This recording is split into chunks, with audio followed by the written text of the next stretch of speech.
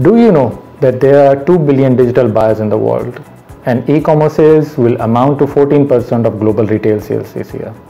Do you know that Pakistan's GDP is 1.2 trillion dollars and half the population will have smartphones by the end of the next year? I'm Yasir Sheikh and I am founder and CEO of Alrag and I have 15 years of experience in e-commerce selling to over 50 countries. I'll be conducting a course on e-commerce entrepreneurship at PNY Trainings. In this course, we will be learning how to plan, execute and grow an e-commerce business from Pakistan. We will be learning about common pitfalls and failings and how to avoid them. If you think you have the potential to become an e-commerce entrepreneur, please join the course and let's get you on the track. For registration, visit PNY Training's website to enroll yourself today.